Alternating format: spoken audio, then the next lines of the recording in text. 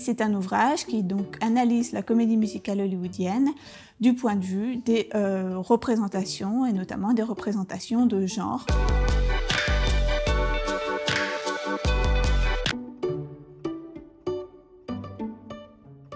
Alors oui, évidemment, parce qu'on est dans le contexte du cinéma hollywoodien classique et que l'âge d'or, celui des années 30 aux années 60, est profondément sexiste. Dans le cinéma hollywoodien, les femmes sont traditionnellement cantonnées à des fonctions d'ornementation, mais en fait c'est si on peut dire, encore plus grave dans la comédie musicale et notamment dans certains films. Je pense par exemple au film de Busby Berkeley. Dans ces films, les femmes sont littéralement des spectacles, des ornementations que le réalisateur va s'amuser à composer pour en faire des figures kaléidoscopiques. Ça signifie pas pour autant que euh, certaines interprètes féminines n'ont pas pu s'émanciper au sein du genre. Un des exemples de stars féminines de comédie musicale que j'ai traité dans mon livre, c'est le cas de la danseuse Eleanor Powell, qui était vraiment une très très grande star dans les années 1930. Eleanor Powell s'est illustrée par son style insolide et un style qui empruntait beaucoup au code du masculin. Elle faisait des acrobaties, ce qui était alors quelque chose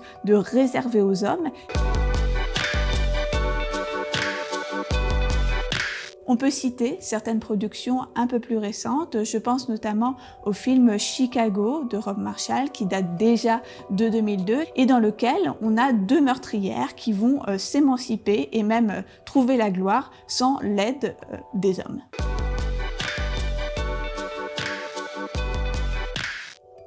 Eh bien, je pense que ça tient à, euh, au plaisir, en fait, au plaisir particulier que donne la comédie musicale. Et ce plaisir, c'est celui de l'entertainment.